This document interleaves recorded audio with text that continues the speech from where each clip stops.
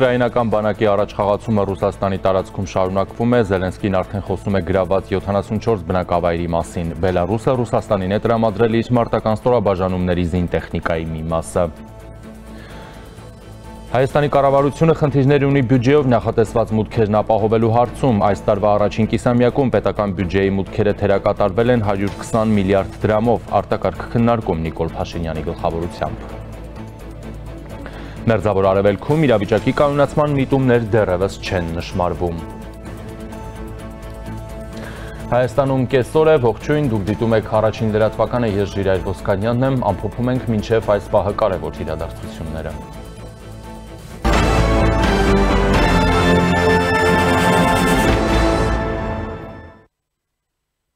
Եվ այսպես Ռուսաստանի տարածքում ուկրաինական բանակի առաջխաղացումը եւ խորացումը շարունակվում է։ Անցած 24 ժամվա ընթացքում Ուկրաինայի զինված ուժերը Կուրսկի շրջանի եւս երկու գյուղ են գրավել, հայտնում է агентство գործակալությունը։ Դրանք Սուջանսկի շրջանի հարավում գտնվող Պլեխովո եւ Սպալնոե գյուղերն են, հաղորդում է գործակալությունը։ Բացի այդ, Ուկրաինայի զինված ուժերը շարունակում են վերահսկել շրջանի մայրաքաղաք Սուջան եւ հարձակումներ իրականացնել դեպի հյուսիս արևելք գտնվող Մարտինովկա գյուղի վրա, ասվում է հրապարակման մեջ։ Նախորդին Ուկրաինայի նախագահ Վոլոդիմիր Զելենսկին խոսել է Ռուսաստանի Կուրսկի շրջանում ուկրաինական զինված ուժերի գործողությունների մասին, նրա խոսքով չնայած բարդ ու ինտենսիվ մարտերին Ուկրաինական ուժերը շարունակում են առաջ շարժվել Կուրսկի շրջանում։ Զելենսկին ասել է, որ տարածաշրջանի 74 բնակավայր այժմ գտնվում է Ուկրաինայի վերահսկողության տակ։ Այսօր էլ Ռուսաստանը զանգվածային հարձակման է ենթարկվել անօթաչու թռչող սարքերի կողմից։ Անօթաչու թռչող սարքերի գրոհների մասին հաղորդում է առնվազն 5 շրջաններից։ Առավոտյան ուկրաինական անօթաչու թռչող սարքերը հարձակվել են Նիժնի Նովգորոդի մարզում գտնվող Սավասլեյկա ավիաբազայի վրա։ Հարձակումը հաստատել է Նիժնի Նովգորոդի շրջանի նահանգապետը, ով զեկուցել է Կուլեբակի մունիցիպալ շրջանի հակաօթային պաշտպանության աշխատանքի մասին օթանավի տիպի անօթաչու թռչող սարքերի հարձակումը ճնշելու համար։ Ըստ նախնական տեղեկությունների զոհեր եւ վիրավորներ չկան։ Ուկրաինայի ռազմաօթային ուժերի տվյալներով MiG-31 K ինքնաթիռը տեղակայված են հենց Սավասլեյկա ավիաբազայում կինժալ հրթիռների կլիչներով, որոնցով Ռուսաստանի Դաշնությունը հարձակվում է Ուկրաինայի վրա։ Վորոնեժի շրջանի նահանգապետ Գուսևը նույնպես օգոստոսի 14-ի գիշերը հայտարարել է մեծ քանակությամբ անօթաչու թռչող սարքերի վերացման մասին։ Տեղական Թելեգրամյան ալիքները հրապարակում են տեսանյութեր, որոնք ցույց են տալիս ենթադրաբար պայթյուններ Վորոնեժի շրջանի Բորիս Գոլբեքսկում, քաղաքում կա ռազմական օթանավակայան։ Գիշերվա ընթացքում երկու անգամ հրթիռային սպառնալիք է գրանցվել Կուրսկի շրջանում։ Նահանգապետի պաշտոնակատար Սմիրնովի խոսքով հակաօթային պաշտպանությունն ուկրաինական 4 հրթիռ է խոցել։ Պայթյունն է գրանցվել նաև Կուրսկի շրջանի Ժելեզնագորսկ քաղաքում։ Ընդհանուր առմամբ Ռուսաստանի պաշտպանության նախարարությունը հայտնում է, որ Ռուսաստանը 8 շրջաններում գիշերը 117 անօթաչու թռչող սարք եւ ուկրաինական 4.8 հրթիռներ է խոցել։ Ուկրաինայի նախագահ Վոլոդիմիր Զելենսկին պատերազմի 902-րդ օրվան հաջորդած իր երեկոյան ուղերձում խոսել է Ռուսաստանի Կուրսկի շրջանում Ուկրաինայի զինված ուժերի հարձակման առաջընթացի մասին եւ հայտարարել, որ ուկրաինական ուժերը վերահսկում են Կուրսկի շրջանի 74 բնակավար եւ հարյուրավոր ռուս զինծառայողներ գերի են հանձնվել։ Նախորդին ՄԱԿ-ի անվտանգության խորհուրդը ոչ պաշտոնական քննարկումներ է անցկացրել կապված Կուրսկի մարզում ուկրաինական զորախմբի ներթափանցման հետ։ ՄԱԿ-ում Ռուսաստանի Դաշնության ներկայացուցիչի տեղակալ Դմիտրի Պոլյանսկին հիշեցրել է, որ հունիսին Ռուսաստանի նախագահ Վլադիմիր Պուտինը բանակցությունների համար շատ շռայլ առաջարկություն է արել։ Պատասխանը ստացանք մեկ շաբաթ առաջ Զելենսկիի ռեժիմն ընտրել է էսկալացիան եւ պատերազմը, ներխուժելով ռուսաստանյան խաղաղ տարածաշրջան։ Դա ճակատագրական սխալ է, ինչի համար Ուկրաինան հետո շատ կապսոս է, բայց ընտրությունը արդեն արված է, ասել է Պոլյանսկին։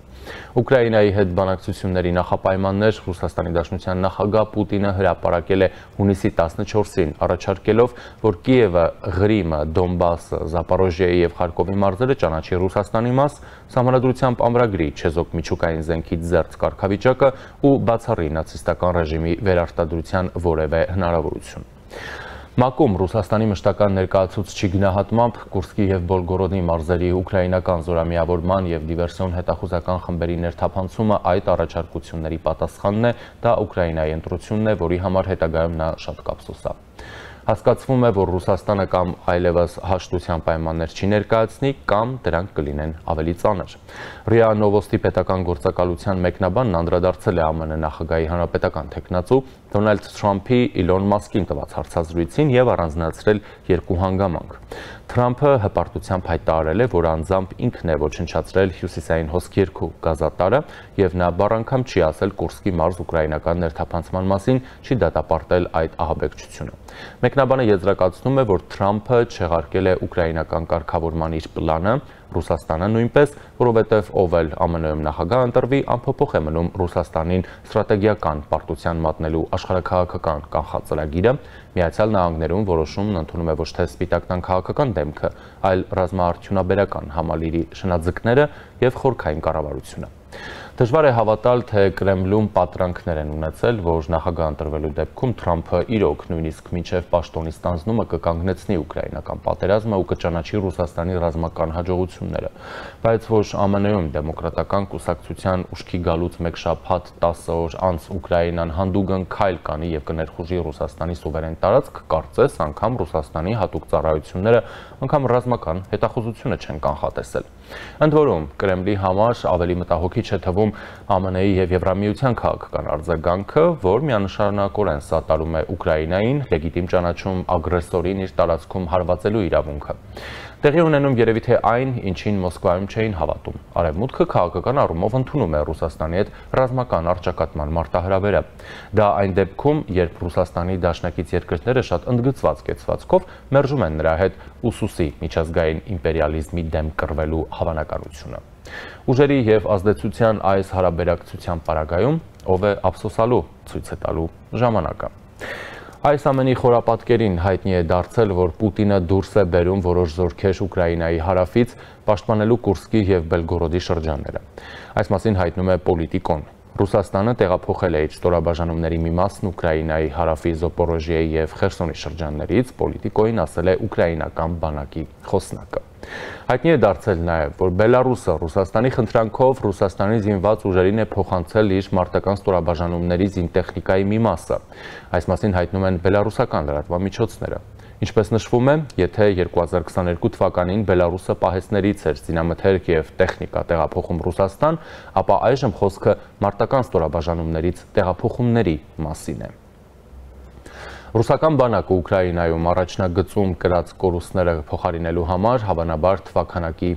զինվոր հա, բավարար թվականակի զինվորներ չունի։ Նշվում է, որ կորուստները 2022 թվականի փետրվարին ռուսական ներխուժման սկսվելուց ի վեր հասել են ամենաբարձր մակարդակին, գրում է Bloomberg-ը, վկայակոչելով Կրեմլին եւ Ռուսաստանի պաշտպանության նախարարությանը մոտ կանգնած 3 անանուն աղբյուրներ։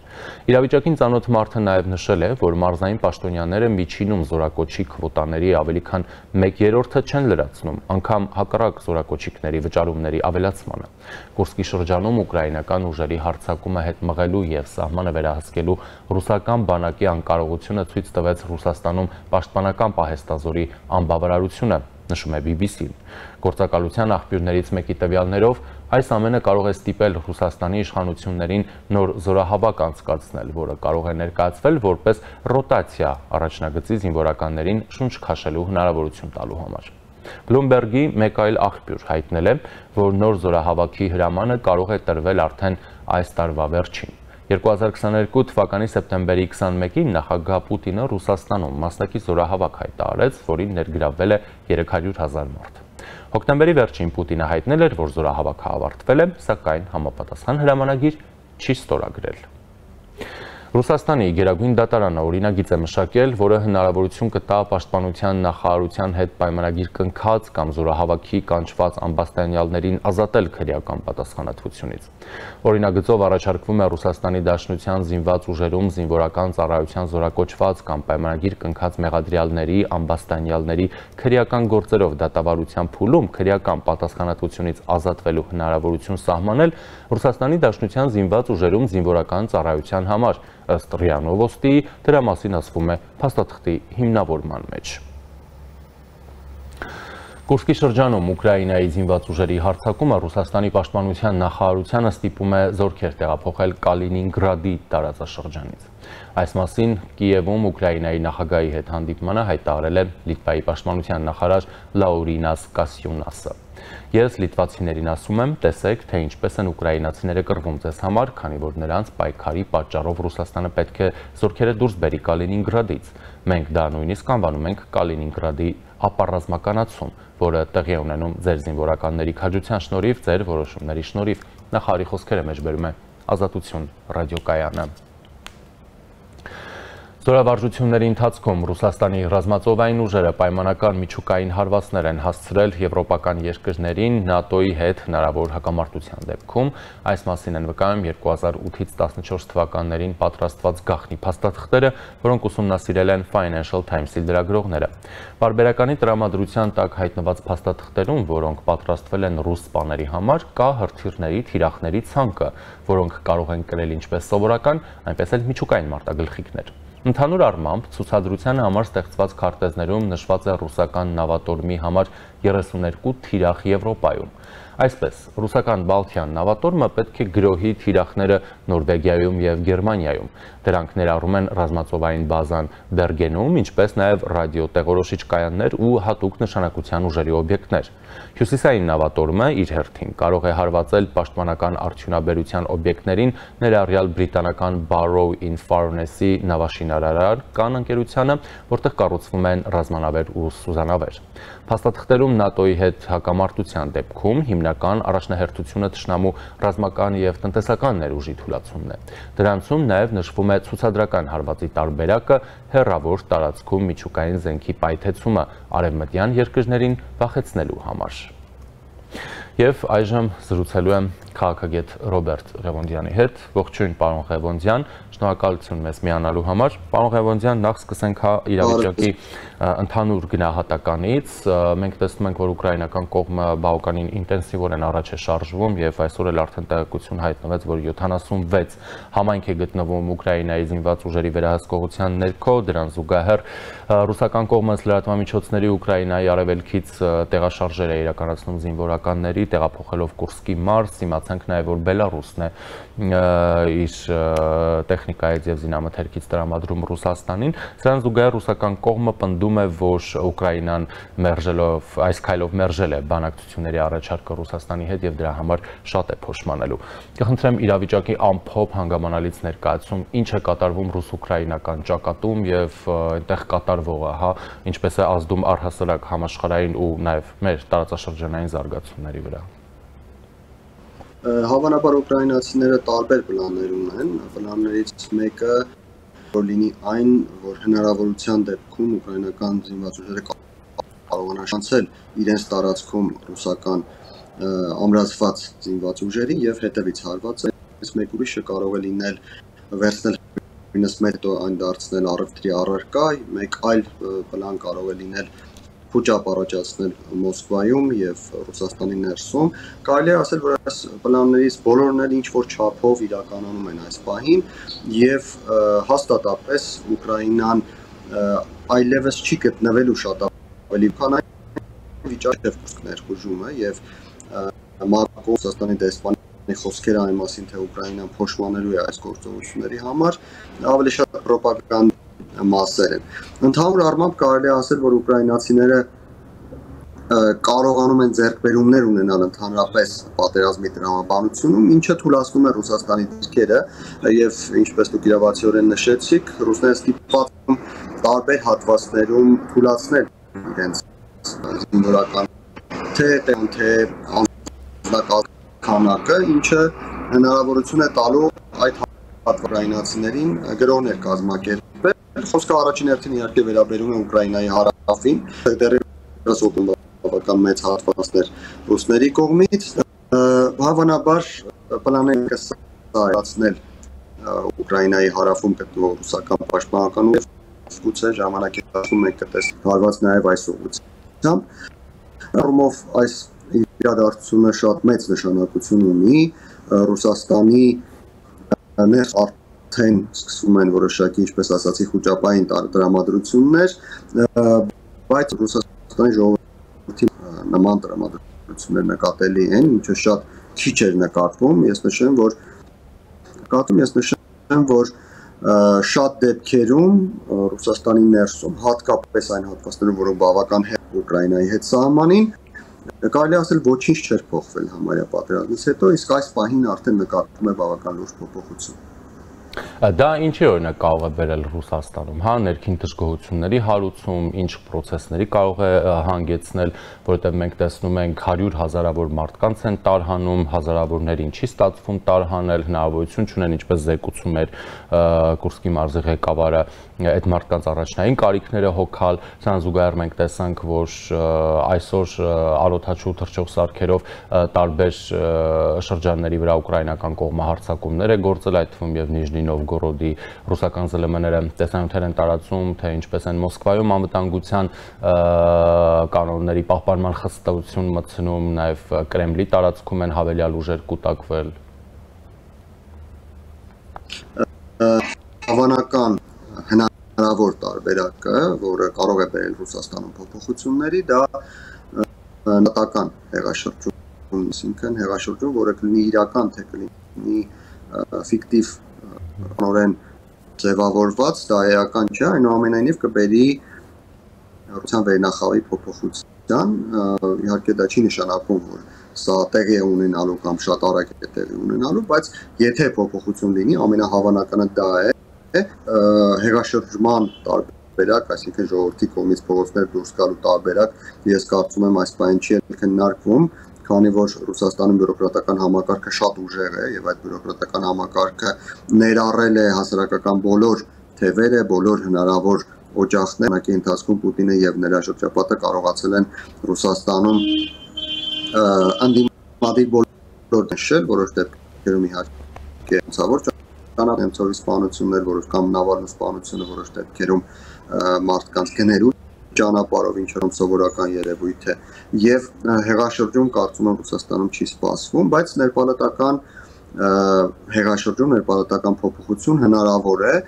եթե իրավիճակը արդեն գնահատվի որպես անհնարին եւ դրա համար ուկրաինացիները բավական շատ բան ունեն դեռևս անելու։ Այդ տարբերակներից մեկը կարող է լինել, ինչպես ես արդեն նշեցի, շրջանցել է ռուսական զինված ուժերին Ուկրաինայում եւ հետևի կողմից հարվածելը, բայց սա շատ բարդ գործընթաց է եւ ժամանակատար ես կարծում եմ ուկրաինացիները սա որպես լավագույն պլան են հավանաբար դիտարկում եւ ավելի շատ մտածում են որպես մտածում են այլ պլանների մասին, որոնք չեն լինի առաջնայինը, բայց բավական մեծ հնարավորություններ կտան։ Իսկ քաղաքական աշխարհակաղակական առումով իհարկե Ռուսաստանի դիրքերը այս բան շարունակում են թուլանալ, Ռուսաստանը շարունակում է կորցնել ոչ միայն իր հնարավորությունները աշխարհակաղակական ասպարեզում, այլ նաև օրինակ իր գործընկերներին։ Մենք տեսնում ենք, որ Բելարուսը ընդհանրապես իր տեխնիկայի որոշակի մասն է տրամադրում Ռուսաստանին այն դեպքում, երբ առաջին օրը երբ Կուրսկ էին ներխուժել ուկրաինացի զինվորականները, Ռուսաստանից հնչում էին կարծիքներ, թե Բելարուսը կարող է մյուս կողմից ճակատ բացել եւ ինքը եւս ներգրավել ռազմական գործողություններում, որից հետո Լուկաշենկոն հանդես եկավ հանդարտության կոչով հանդես եկավ խոսքով, որից բարձ դարձավ, որ Բելարուսը չի պատրաստվում հարվածել Ուկրաինային, գոնե անմիջականորեն չի պատրաստվում մտնել պատերազմի մեջ, ինչ խոսք շատ ավելի ինքնալի է տեսնել այլ գործընկերների հետ փոխհարաբերություններում, ովքեր ոչ միայն չեն արձագանքել Ռուսաստանի կողմից Ուկրաինային դատապարտելու կոչին, օրինակ Ղազախստանը, Նիկարագուան, Էրիթրեան, որոնք ավանդաբար Ռուսաստանի գործեր են, այլև հասկանալի է, որ որևէ դեպքում նույնիսկ օգնության խնդրանքի դեպքում որևէ օգնություն Ռուսաստան չեն տրամադրելու։ Ես հենց դրա մասին էի ուզում նաև ձեզ հարցնել, պարոն Ղևոնդյան, մենք տեսանք արևմտյան երկրների Ուկրաինայի գործընկերների արձագանքը, որոնք նաև քաղաքականապես են աջակցում Ուկրաինայի գործողություններին, ճանաչում են, այսպես ասած, ագրեսորի տարածքում նրան հարված հասցնելու Ուկրաինայի իրավունքը, Եվրամիությունը նորից 4 միլիարդ դոլարի ռազմական օգնության մասին է հայտարարում։ Մի խոսքով, Ռուսաստանին լոյալ կամ Ռուսաստանի դաշնակիցները քարլրություն են պահպանում։ Ինչու՞ն է խնդիրը։ Որովհետև Ռուսաստանը փաստացի խորտակվում է կարելի է նշել, որ ոչ թե Ռուսաստան որպես պետություն, այլ Ռուսաստանի իշխանությունը խորտակվում է, որովհետև իրենք իրենց Ռուսաստանի այս իշխանությունը ինքն իրեն ժամանակի ընթացքում նույնացրել էր պետության հետ եւ ասել այս բանը Ռուսաստանը խորտակվում է նշանակում է Ռուսաստանի այս իշխանությունը իհարկե հլատակները շատ մեծ խնդիրներ են առաջացնում եւ այդ հլատակները մեծ չափով վնաս են տալու նաև Ռուսաստան պետությանը, եթե առանձին դիտարկենք ոչ որպես եւ պետություն ամբողջականություն, ինչը շատ են ցանկանում Ռուսաստանի իշխանությունում 20-25 տարիների ընթացքում, եւ այդ բեկորները, խորտակման բեկորները վնասելու են նաև բոլոր նրանց, ովքեր այդ բեկորներից փորձում են կարճել։ Մեջ օրինակ Հայաստանում գործող որոշ քաղաքական գործիչներ եւ որոշ քաղաքական ուժեր են դրանց մեջ դրա մեջ կարող են լինել այլ պետությունների ներկայացուցիչներ եւս ինչպես ասում ենք որ շատ շատերն են հասկանում պետք չի այդ բեկորներից կարճել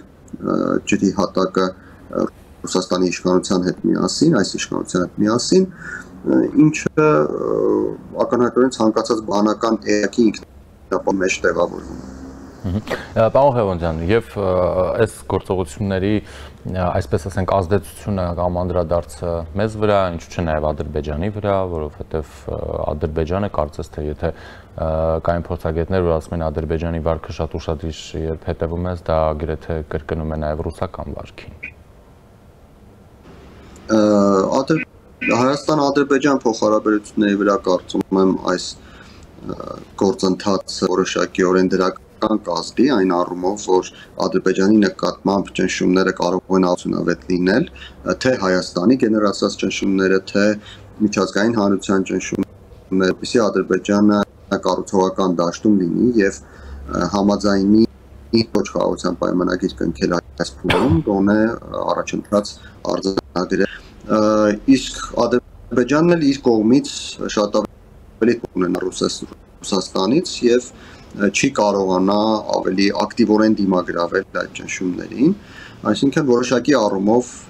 այս գործընթացը կարող է մոտեցնել Հայաստանի եւ Ադրբեջանի միջև խաղաղության գործընթացը։ Իր քաղաքական առումով Հայաստանում դա եւս որոշակի ազդեցություն կունենա, ինչպես ասած, քաղաքական դաշտում կան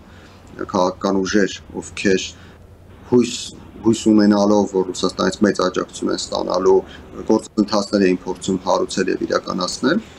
կարևոր չէ ինչ հաջողությամբ, նրանք շատ ավելի փոքր աջակցություն են ստանալու եւ նրանցից շատերը գուցե հույսն էլ կորցնեն, գուցե աշխատեն այլ ոլորտներում, փորձեն իրենց դրսևորել այլ ոլորտներում, որովհետեւ այս ոլորտում փաստացի նրանք ծախողվում են։ Շնորհակալ եմ դիտարկումների համար։ Զրուցակիցս քաղաքագետ Ռոբերտ Ղևոնդյանն էր։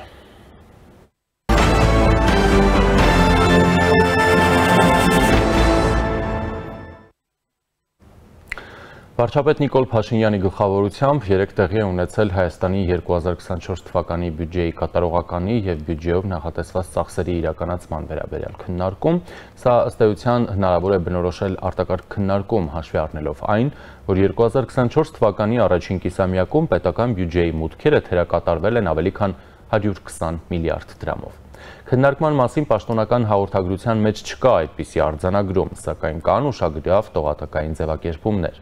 Օրինակ, հաջորդիվ քննարկվել են պետական բյուջեի պահուստային ֆոնդից հատկացումների եւ վերաբաշխումների վերաբերյալ առաջարկվող նախագծերը, որոնց շուրջ ծավալվել է մտքերի փոխանակություն եւ հնչել են տարբեր դիտարկումներ ու առաջարկություններ կամ անդրադառնալով պետական բյուջեի եկամուտների ինչպես նաև կապիտալ ծախսերի կատարման ընթացքին վարչապետ Փաշինյանը կարևորել է ծրագրերի ժամանակին եւ պատշաճ իրականացումը կամ կառավարության ղեկավարը ընդգծել է նաև հարկային ու մաքսային վարչարարության արդյունավետ իրականացման անհրաժեշտությունը, նշել, որ պետք է շարունակել հետևողական քայլերն այդ ուղղությամբ։ Այս վերջին պարբերությունը հատկապես արժանի է ուշադրության, քանի որ թողնում է տպավորություն, որ պետական եկամուտների կոմիտեին տրված է հարկային վարչահարությունը խստացնելու հանձնարարական։ Մինչդեռ գործարարները հատկապես փոքր եւ միջին տիրույթի արդեն իսկ դժգոհում են բիզնեսի հանդեպ ՊԵԿ վարչահարության անհարկի խստությունից։ Եթե ՊԵԿ-ը իրականացնում է անարդյունավետ վարչահարություն, ապա գուցե պետք է դրվի ՊԵԿ կառավարման արդյունավետության, այլ ոչ թե հարկային ու մաքսային վարչարարության հետևողականության հարց որովհետև երբ դրվում է հարցը այդ շեշտադրումով, ապա համակարգը բնականաբար ընդունում է հրահանգը իրեն բնորոշ ենթագիտակցական ու գիտակցական ազդակներով, անցնելով գործարար աշխարհի հանդեպ պարզապես, այսպես ասենք, terror-ի։ Այդ հասկացությունը չափազանցություն չէ փոքր եւ միջին ձեռնարկատիրության ոլորտում գործող հազարավոր ընկերությունների համար։ Դա նշանակում է, որ հարկային ու մաքսային վարչարարությունը պետք է համամասնորեն բաժանվի, այլ ոչ թե կիրառվի տոտալ վարչարարության մեթոդը, ինչը բացի տնտեսության բևեռացվածության աճից չի տա որևէ օգտակար էֆեկտ այդ նույն տնտեսության առողջ հեռանկարի համար։ Այն որ հարկերի հավաքագրման ոլորտում լուրջ խնդիրներ կան, դրա մասին վերջերս խոսել է նաև ֆինանսների նախարար Վայ Հովանիսյանը։ Այս ամենի խորապատկերին էլ որոշ գործարարներ բողոքում են ՊԵԿ գործնայությունից ու վարչահարությունից։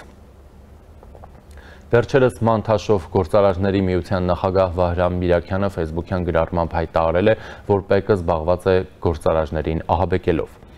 Այսօր էլ Միրաքյանը մեկ այլ նույնաբովանդակ գրառում է կատարել, որտեղ նշվում է, որ ՊԵԿ-ը նախաձեռնել է օրենսդրական առաջարկ, որով նախատեսում է տարին մոտ 1000 գործարարի բանտ նստեցնել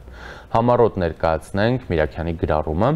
Նորից չափազանցություն չի, իրական փաստ է։ Երեք պատմեցի քրեականի 290-րդ հոդվածի մասին, որով 10 միլիոն դրամ եւ ավելի խախտումի դեպքում գործարարին կարող են 4-ից 8 տարով կալանավորել։ Բայց կա մի առանձնահատկություն։ Եթե գործարարը վճարում է կանխատեսվող խախտումի չափի գումարը, ապա քրեական հոդվածը չեղարկվում է։ Բազմաթիվ են դեպքերը, երբ գործարարը վճարում է ՊԵԿ-ի կանխատեսված խախտումը դուրս է գալիս կալանքից, հետո դատարանով ապացուցում է, որ ՊԵԿ-ը սխալ նախնական հաշվարկ է արել ու գումարը հետ է ստանում։ Հիմա ՊԵԿ-ը նոր օրենսդրական նախաձեռնություն է բերել, որով առաջարկում է գործարանին բանտից բաց չթողնել նույնիսկ կանխատեսվող խախտումի չափի գումարը վճարելուց հետո։ Այսինքն հարկային տեսուչները, եթե ենթադրում են, որ գործարարը 100 միլիոն դրամի հարկ չի վճարել, գործարարին բանտ են նստեցնում, գործարարը գումարը վճարում է, բայց շարունակում է մնալ բանտում։ Հետո 3 տարի տևած դատերից պարզվում է, որ հարկային տեսուչները սխալվել են։ Այդպիսի դեպքեր շատ են լինում։ Գործարարին հետ են վճարում 100 միլիոնը ու բանտից ազատում են։ 3 տարի անց արդեն բիզնես չկա ոնց կարող է բիզնես լինել, երբ հիմնադիրին 3 տարի բանտում է սպահում։ Սխալ նախնական հարկային հաշվարկ կարած տեսուչի համար էլ օրենքը որևէ պատիժ չի նախատեսում։ Իդեպ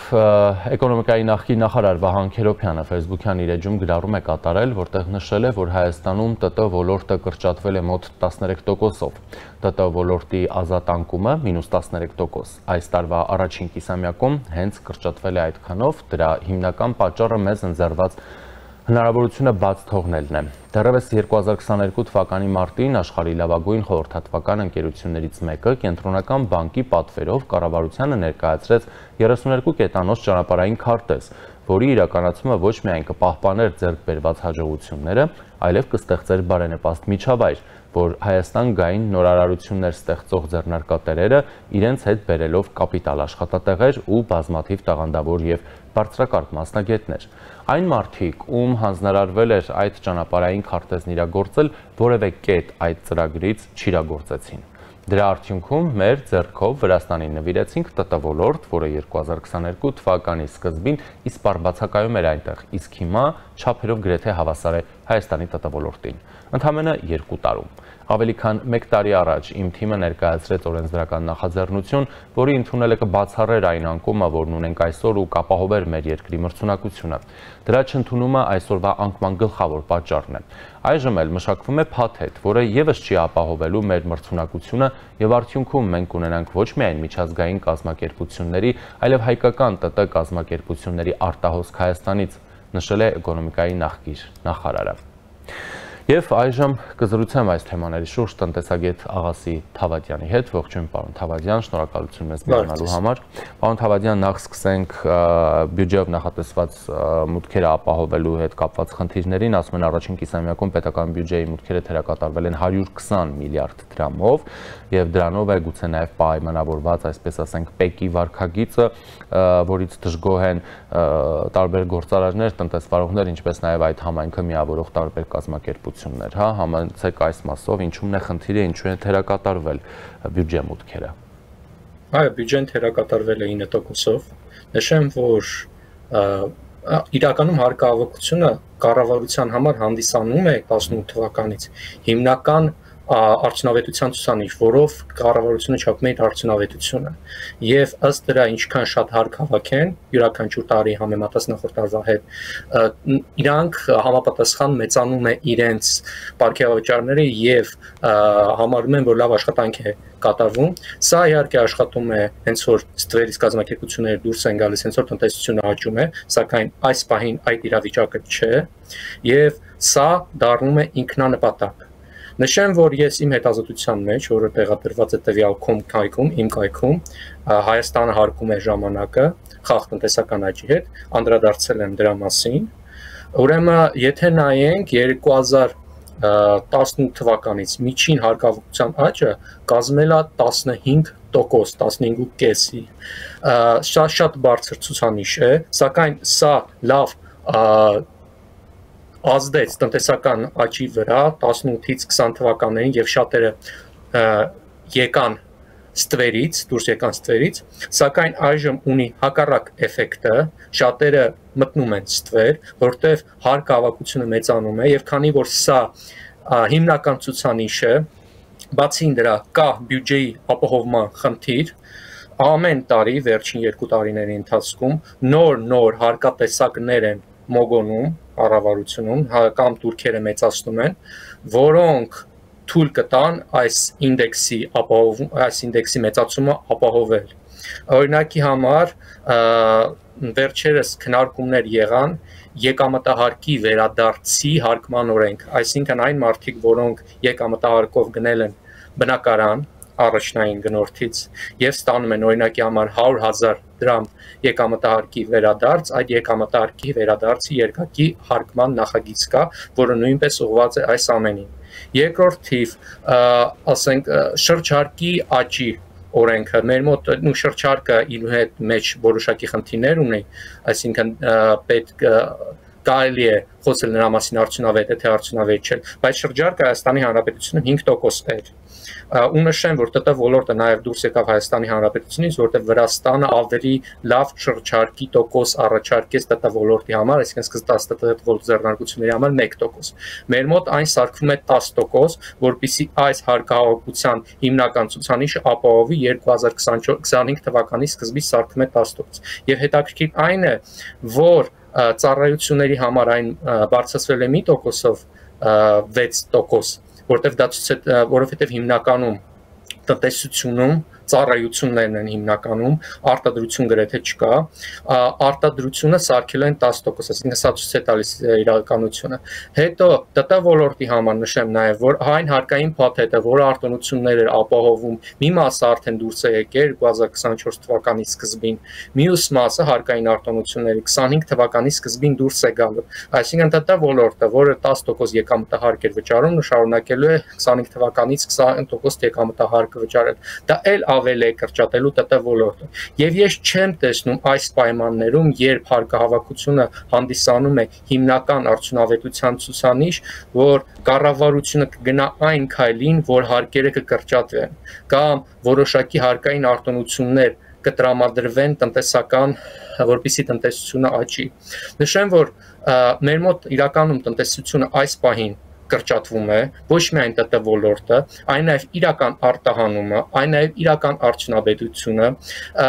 Տեսեք, հիմնականում այս վերջին ամիսների աճ ապահովում էր ոսկու վերաարտահանումը, որը արդեն իսկ անկում է ապրում եւ սա էր, տեսեք, 2023 թվականի առաջին երամսյակում մեր հնայաճ եղել է 9.2%, որը առաջին հայացքից բավականին մեծ ցուցանիշ է, բայց այս ցուցանիշի մեջ կա խապկանք, որովհետև այդ 9.2%-ի 4%-ային կետը, գրեթե կեսը, դա ոսկու վերաարտանումից էր ստացվել, որը որոշակի վիճելի ճանապարհներով կարելի է ենթադրել նաև որոշակի օրենսդրական խախտումներով, որովհետև ոչ միտեղ գրանցված չի ոնց է անցել այդ ոսկին, ինչի համար է այդ ոսկին անցել ինչ նպատակով է անցել այդ ոսկին, ապահովել է տնտեսության աճի գրեթե կեսը մնացածը տակը մնացել է 5.2%, այդ 5.2%-ից 3%-ը դա առևտուրն է Հիմա այսպիսի պայմաններում, այսպիսի պայմաններում, երբ արդեն ոսկու վերարտանումը կրճատվում է եւ գրեթե իջնում է բավականին շատ։ Մտահոգվում է տնտեսական աճի ապահովման պայմանները։ Տնտեսությունը կրճատվում է իրական տնտեսությունը։ Իրական արտահանումը կրճատվում է այս պահին։ Էլեկտրաէներգիա արտադրությունը եւ արտահանումը կրճատվում է։ Եվ այս պայմաններում ել ավելի բարձրացնել հարկահավաքությունը, հարկի բեռը այն պայմաններում տնտեսությունը կրճատվում է, ոչ թե աճում է հարկահավաքության հետ, ել ավելի մահացու է։ Շատ լավ, ինչ ինչպես եք վերաբերվում պետական եկամուտների կոմիտեի, ինչպես նշում են նոր օրենսդրական նախաձեռնությանը, մասնավորապես հարկերի, այսպես ասենք, չվճարման դեպքում եւ այլն տեսուչների նաեւ արձանագրման կամ կարծիքների հիման վրա գործարարների կալանավորմանը եւ այլն, հետո օրինակ եթե մարդը դատական process-ներով ամիսներ, տարիներ կարող է կալանավորված մնալ, հետո վերականգնի, հա, այդ գումարը ենթադրենք, հետո բարձվի, որ խնդիրներ չեն եղել, պետությունը հետ է այդ գումարը եւ այդ մարդուն ազատ արձակեն ու դրանով այսպես ասենք համարենք, որ հարցերը լուծված են։ Սա նույն տրամաբանության մեջ է, որ հարկահավաքությունը ամեն գնով պիտի աճի եւ մեծացնի այնինչ որ հարկերը նշեմ հարկահավաքությունը առաջին կիսամյակի տրվածքով 9%-ով պակաս է հարկագրվել պլանից Սա այդ է, այսինքն ամեն գնով փորձում են տարբեր եղանակներով, տարբեր ճանապարհներով, ել ավել, քամել աշխատավոր մարդկանց որպիսի ապահովեն այդ հարկահավաքության ցուցանիշը։ Եվ նշեմ, այս պայմաններում երբ կա տնտեսական անկում, հակառակը պիտի մտածել հարկերի քչացման մասին։ Տեսեք, հարկավοκությունը պետք է աճի ոչ թե արհեստականորեն, այլ տնտեսությունում իրական արտադրության, իրական հնարավորությունների աճի հետ միասին։ Տնտեսագիտությունում կա այսպիսի կոր, այս լաֆերի կոր է կոչվում, որը ասում է, որ հարկահավաքության ավել աճի դեպքում որոշակի կետ է գալիս, երբ հարկային մուտքերը նվազում են։ Եվ մենք դա ենք արդեն ականատես լինում։ Այսինքն ել ավելի հարկելը մեծացնելով հակառակ էֆեկտի են գանցնելու այս պահից, որտեղ մարդիկ արդեն իսկ ուզելու են ոչ թե ավել հարկել տալ, այլ հակառակը հետ վերադառնալ ստվեր կամ սնանք ճանաչվել, օրինակ այդ գործարարների օրինակով, կամ դուրս գալ երկրից, այսինքն ստեղ այս պահին հակառակը մենք պիտի մտածենք հարկերը կրճատելու մասին, հարկային արտոնություններ տրամադրելու մասին, որովհետև տնտեսությունը անկում է ապրում, իրական տնտեսությունը այս պահին անկում է ապրում։ Լավ, այդ դեպքում դժվար է պատկերացնել, որ ոլորտի պատասխանատուները չգիտեն դրա մասին, տեղյակ չեն, հա, ինչպես կարճաժամկետ ինչ որ էֆեկտներ ապահովելու համար ինչ-ինչ քայլեր են իրականացնում, որոնք հետո արդեն իրենց բնականաբար բացասական հետևանքներ եւս պետք ունենան տնտեսության վրա։ Ըստ ձեզ այս քաղաքականության տրամաբանությունը այդ դեպքում ո՞րն է? Քաղաք դե նորից ասեմ միջազգային կազմակերպությունները միջազգային կազմակերպությունները եւ կառույցները խորհուրդ են տվել Հայաստանին հարկահավաքությունը ցուցանիշը մեծացնել, հարկերը մեծացնել, որբիսի որոշակի եվրոպական եւ համաշխարհային ստանդարտներին համապատասխանի Հայաստանի Հանրապետությունը։ Եվ դա 2018-ից 20 թվականներին բավականին լավ աշխատում էր, սակայն շատ բան, որը բարի նպատակով է սկսվում եւ սկզբնորեն լավ արդյունք է ապավգայում, հետագայում խեղաթուրվելու ունակություն ունի եւ ինքնանպատակ դառնալու ունակություն ունի։ Ճիշտ է, կառավարությունում խելոք մարդիկ են նստած, սակայն պետք է հասկանալ, որ եթե որոշակի ցուցանիշ դառնում է հիմնանպատակ, որի պետք է ամեն գնով հետևել, դա կարող է խեղաթյուրել իրական պատկերը։ Նշեմ նաև, որ այս բային կառավարությունը կրճատում է ծախսերը, բայց հիմնականում կրճատում է յենթակառուցվածքների ապահովման ծախսերը, այսինքն դպրոցաշինության, որոշակի ջրամբարների կառուցման եւ այլն, ճանապարհների կառուցման եւ այլն, այսինքն հիմնական կենթակառուցվածքները, որոնք ապագայում հնարավոր է Հայաստանի Հանրապետությունը ավելի լավ զարգացման ուղու վրա դնեն, այս պայն քանի որ կա բյուջեի թերակատարում չեն ապահովում։ Նաեւ հարցի տակ է ընկնում հնայի 7%-ի ապահովելու ցուցանիշը, որովհետեւ այս բան արդեն իսկ խոսակցություններ են գնում Պաուստային ֆոնդի օգտագործման մասին։ Նշեմ նաև, որ եթե մենք ոչ թե 7% տնտեսական աճ ապահովենք, այլ 4%, որը մեր երկարաժամկետ իրական տնտեսական աճն է 4.5%-ը, ապա մենք կմեծացնենք Պաուստային ֆոնդի կեսը կծախսենք Եթե 3% լինի եւ ավելի ցածր, ստիպված պետական պարտքը կմեծացնենք։ Այսինքն այս պահին գնում ենք պաուստայի ֆոնդի ծախսման եւ պետական պարտքի մեծացման ճանապարհին։ Շատ շնորհակալ եմ ձեզ մանրամասների համար։ Ես եմ շնորհակալ։ Զրուցակիցս տնտեսագետ Աղասի Թավադյանն էր։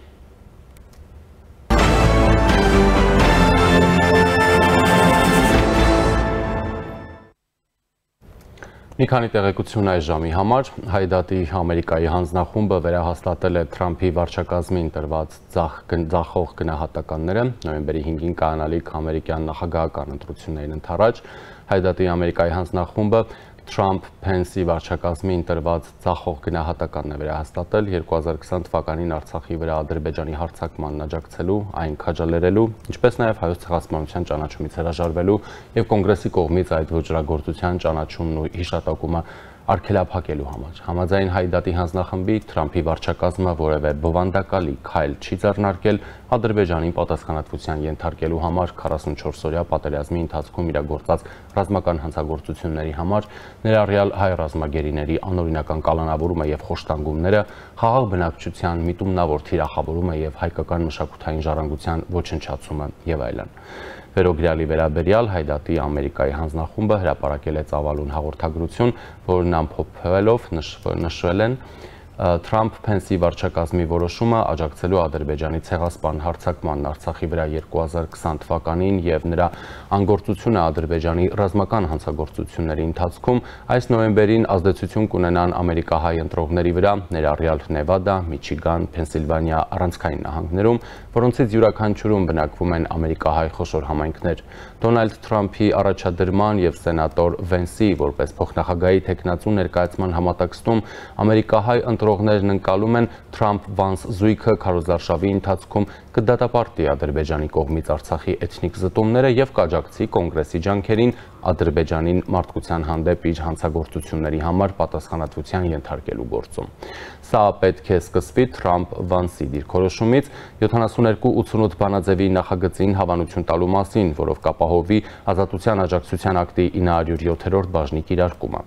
Ակնկալվում է հանրապետական առաջնորդները կսատարեն ադրբեջանցի պատերազմական հանցագործների դեմ գլոբալ Մագնիցկու ակտով նախատեսված բաժամիջոցների կիրառմանը։ Ակնկալվում է. Հանրապետական զույգը կպաշտպանի Արցախի բնիկ հայերի վերադարձի իրավունքը միջազգային երաշխավորությամբ։ Բացի այդ, որպես ԱՄՆ գործող սենատորի Հայդատի հանձնախումբը Պենսից ակնկալում է թիվ 540 բանաձևի նախագծին սատարումը, որը ԱՄՆ պետքարտուղարությունից պահանջում է ուսումնասիրություն Ադրբեջանի կողմից մարդու իրավունքների խախտումների վերաբերյալ համաձայն օտարերկրյա աջակցության մասին ակտի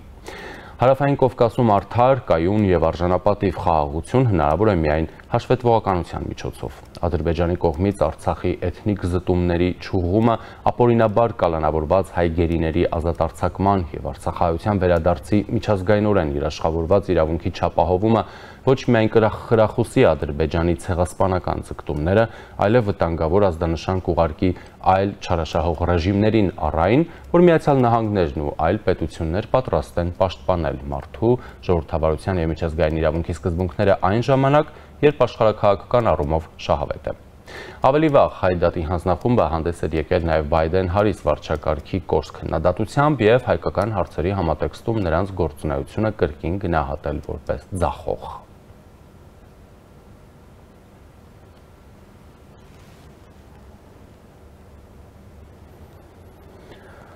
ԱՄՆ պետքարտուղարի տեղակալ Ջեյմս Օբրայենը երեք ժամանել է Կիև, Ուկրաինայում Միացյալ Նահանգների դեսպան Բրիջիտ Բրինքսը նախողջունել է Օբրայենի այցը Կիև, շեշտելով պետքարտուղարի այցը Կիև մեծ ուղերձ ունի։ ԱՄՆ աջակցությունն Ուկրաինային անսասան է, X-ում գրել է դեսպանը։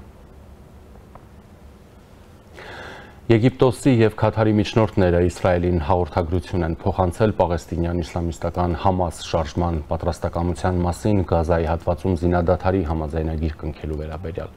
Այս մասին գրում է թուրքական Հուրիետ թերթը։